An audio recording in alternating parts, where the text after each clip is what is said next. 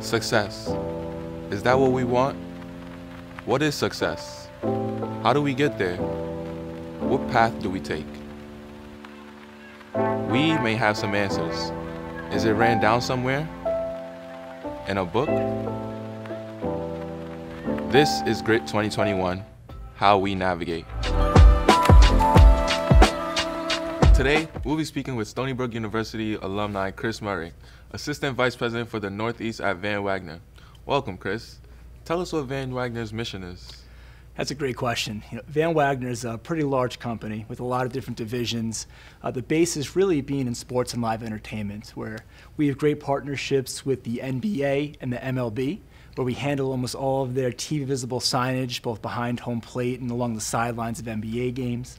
Uh, we deal with production. You know, last year we were involved with the NFL draft being held fully remotely for the very 1st mm-hmm. time, where we built an entire hardware software package to mail cameras and lights to Commissioner Goodell and the coaches and the agents and the players and put on one of the largest remote shows really in history uh, with very short notice. Because at the time, you should remember back then, we weren't sure with COVID happening, what was going to be yeah. like, these you know short shutdown, and now we know obviously what, what happened. But a large production company Recently, we've launched this collegiate services division with the hope of bringing our experience and expertise as far as partnership development from professional sports to growing colleges like Stony Brook. So, my division is the collegiate services division. Our goal here at Stony Brook is to help the athletic program continue to grow and become a powerhouse Division One athletic program through media partnerships, community partnerships to drive revenue, fund scholarships, and you continue to kind of fill in the gaps as we want to continue to grow to become one of the prominent athletic programs here in the Northeast. So, in a very long-winded answer, that's our, our objective here at Stony Brook. Okay, yeah, that's pretty interesting. Um, how'd you get from being a biology major to a marketing career?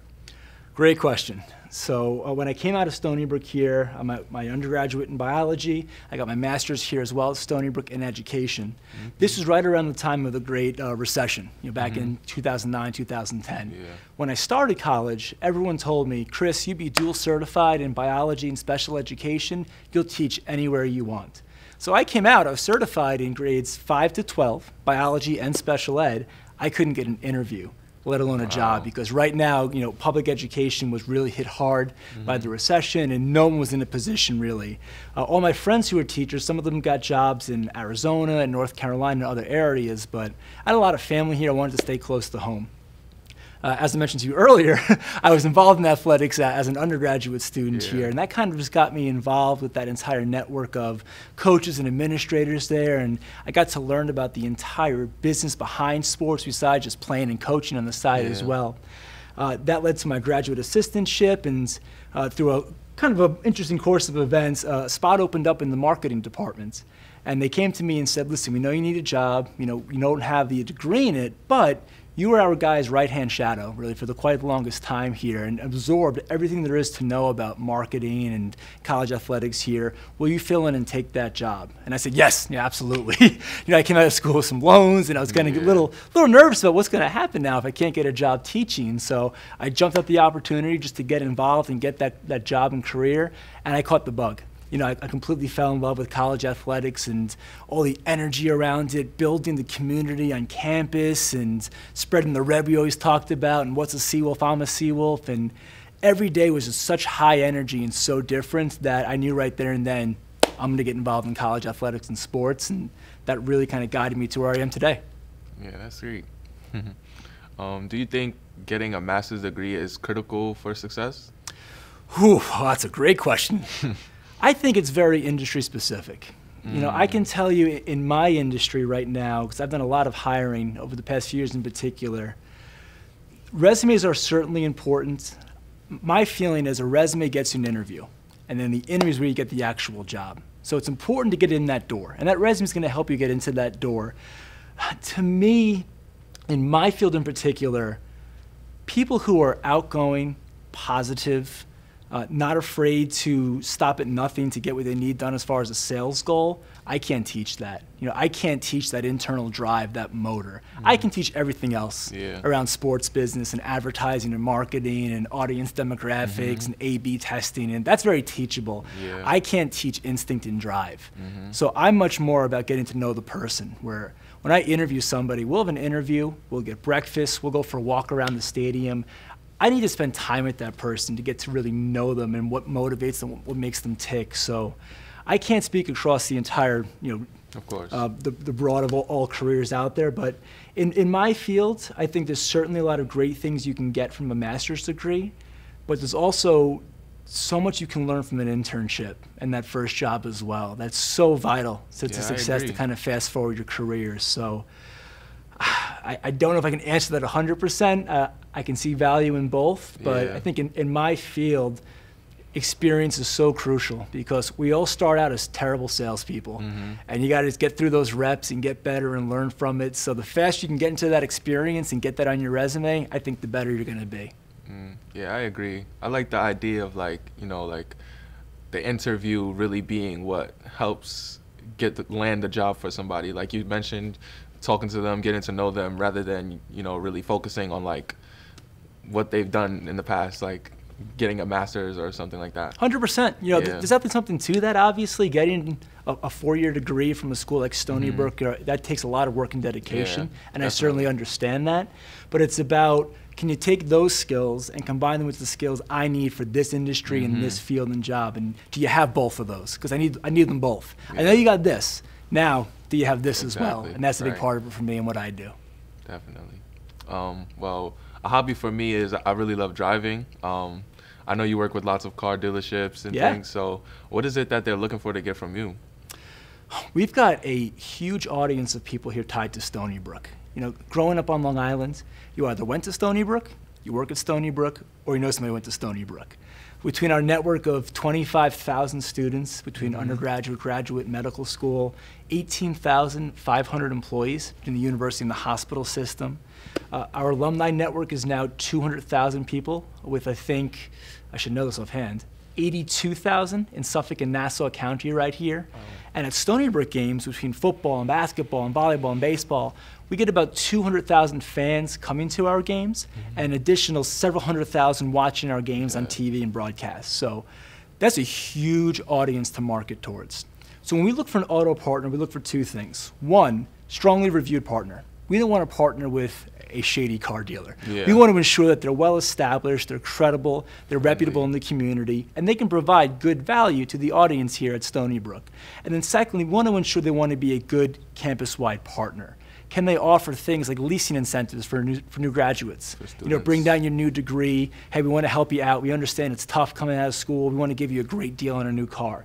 Build that great partnership th- that way as well. So that's what we're looking for in an auto partner is somebody who's tied to the community, understands what we're trying to do here and what your money does and what makes Stony Brook so unique to other schools as far as the, the student body here at Stony Brook and how different it is from a lot of other campuses across the entire country. We get people who buy into that, want to be a part of that mission, and that makes for the best partners across all industries and auto in particular as well. Mm, yeah, I like the idea of, um, you know, working together to help students, you know, lease a car. Some may not be in the right financial state to, you know, pay what they're what they are asking for. Of course. But, yeah, I like that idea.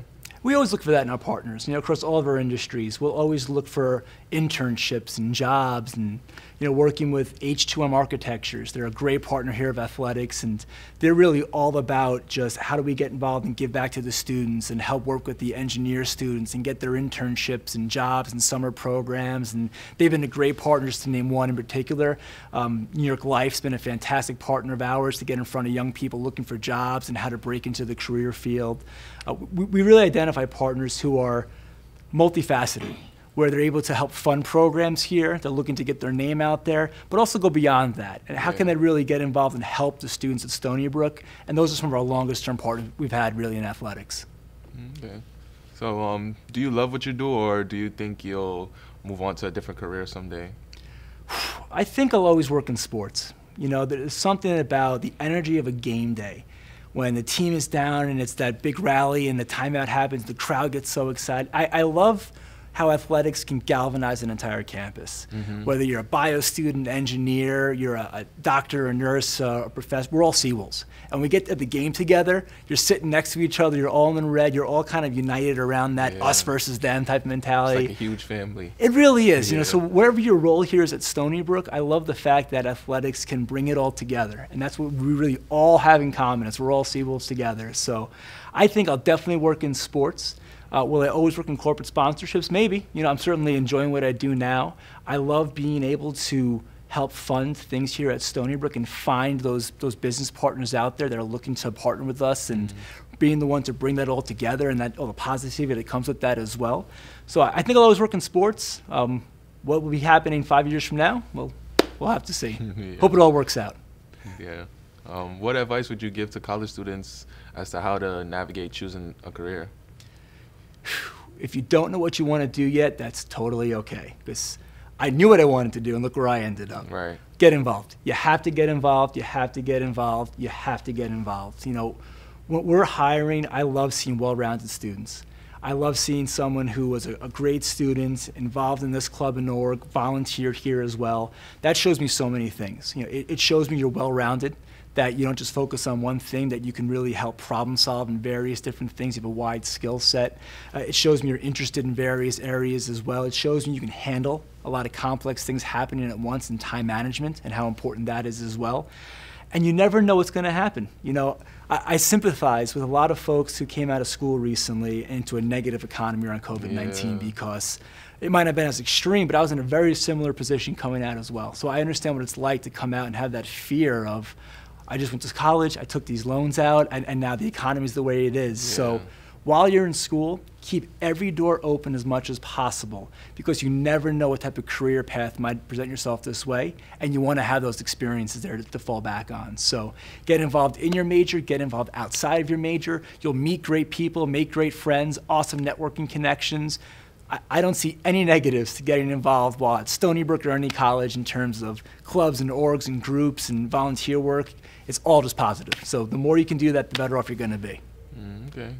Well, um, thank you for coming and thank you for all of your insight. Um, appreciate the conversation, really. Well, thanks for having me. It's a pleasure talking to you, and uh, good luck to you as well going forward. Thank you. Appreciate it.